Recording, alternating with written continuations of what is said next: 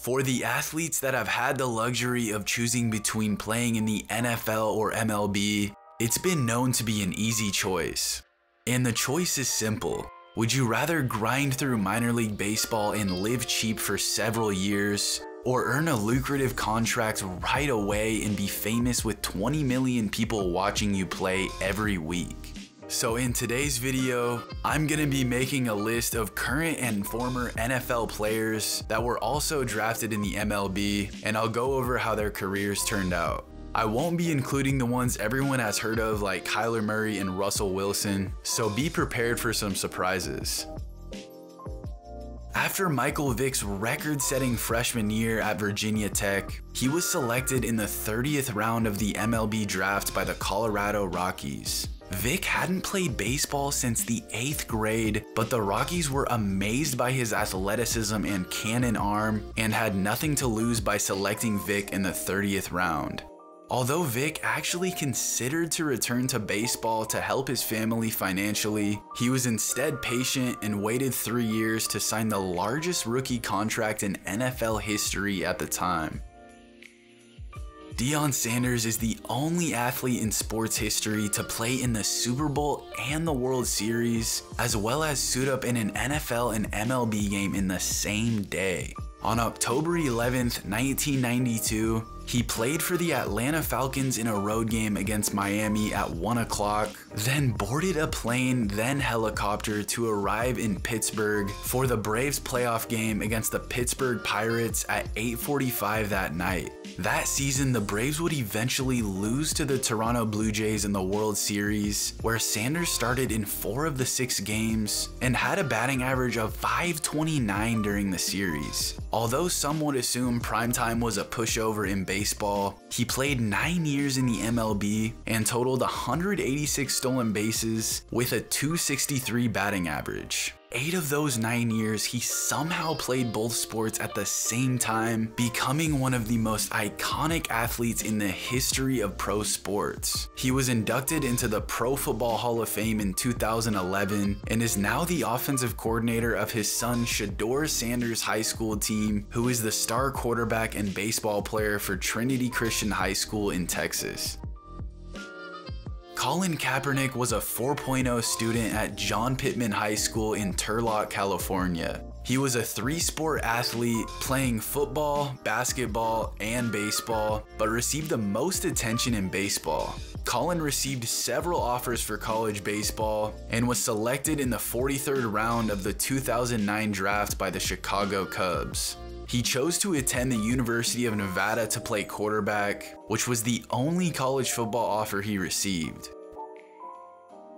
Troy Aikman was a standout football and baseball player at Henrietta High School in Oklahoma. Out of high school, he was offered a contract from the New York Mets to be an outfielder. It was an easy choice for Aikman to decline since he started as a true freshman at quarterback for the University of Oklahoma. In the offseason, Aikman would watch baseball practices almost every day on campus, and head football coach Barry Switzer suggested he play on the baseball team as well, but he declined. Since then, Aikman has been inducted into the Pro Football Hall of Fame and is a color commentator for Fox announcing NFL games. He has been known to be accidentally over conspicuous about getting excited for Cowboys touchdowns while announcing their games on live TV. He is also best friends with Joe Buck. John Elway was one of the most anticipated athletes in sports history before being drafted in the NFL in 1983. Elway was a nationally known prodigy in football and baseball for the University of Stanford and was drafted in the second round of the 1981 MLB draft by the New York Yankees. Elway played in the summer of 1982 for a Yankees minor league affiliate to receive a $150,000 bonus. When drafted by the Baltimore Colts first overall of the 1983 NFL draft, he said that he would rather be a garbage collector than play for the Colts. He then threatened to play in the minor leagues for the Yankees if he had to play for the Colts. He used his baseball potential as trade leverage after refusing to play for the Colts and was eventually traded to the Denver Broncos to be their starting quarterback. He is known as one of the greatest quarterbacks to ever play and is now the general manager of the Broncos. Before Tom Brady was winning Super Bowls at will, he was more notably regarded as a baseball player rather than football during his childhood and was drafted by the Montreal Expos in the 1995 MLB draft following his senior year. My previous video covers his childhood and baseball career, so if you're interested in that, go check that out after the video. Dan Marino was selected in the fourth round of the 1979 amateur draft by the Kansas City Royals. During high school, his ceiling was much higher for baseball than football, as he was the best player on his baseball team from the time he was a freshman and through the four years, while in football, he didn't even start until his junior year. His decision to stick to football ended up working out for him and was selected in the first round of the 1983 NFL Draft. Marino has the fifth most wins as a quarterback in NFL history, one spot behind John Elway. His legacy unfortunately isn't as good as it could have been, since he is the most winningest quarterback ever to not win a Super Bowl.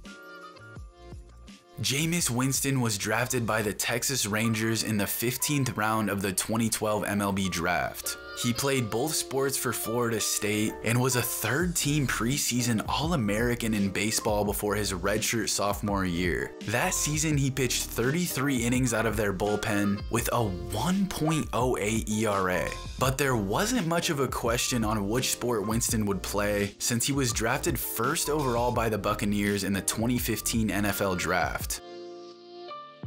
So that just about wraps up my video. Six of the eight players on this list were first round picks in the NFL, so choosing the fame and money of an NFL quarterback over the minor leagues was almost a no brainer for these guys. But the amount of potential wasted in the MLB from the players on this list makes you wonder what could have been.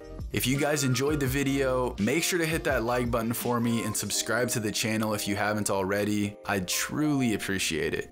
Thanks for watching, and I'll see you guys next time.